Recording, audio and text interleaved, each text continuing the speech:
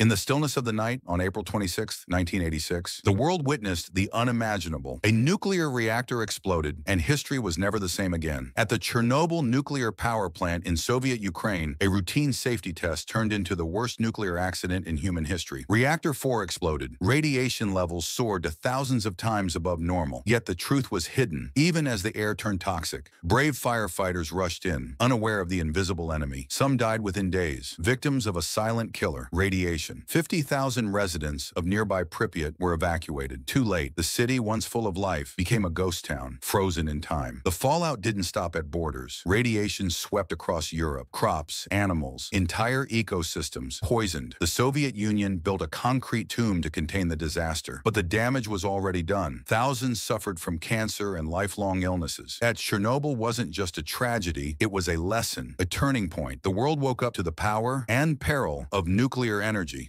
Chernobyl still stands as a warning of what happens when science is silenced and safety is ignored.